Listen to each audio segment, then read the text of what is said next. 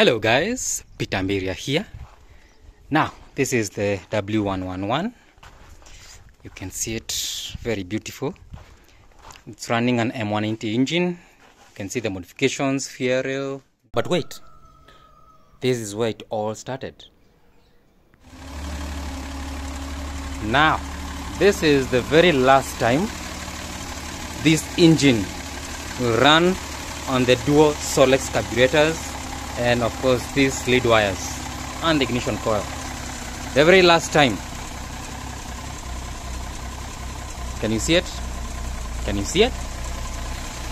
Very last time. Uh, throttle bodies, uh, coil on plugs. Now, let me make it start as is. There's a procedure. Down here. Oh my goodness, down here. The pump needs to be pressurized. Okay, now I run back here on my laptop. I need to see some data. All right, let's start it. Come here and start.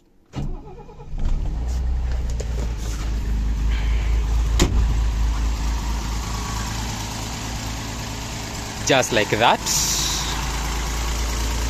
Engine is running pretty well. No tuning done yet. You can see the dual throttle body. If I accelerate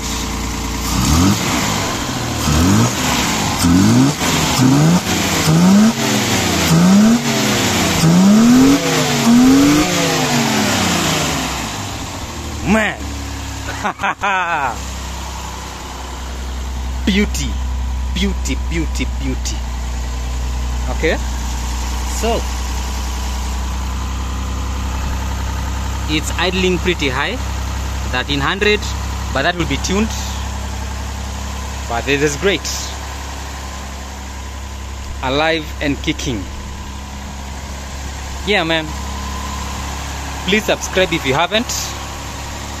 And uh, let's keep watching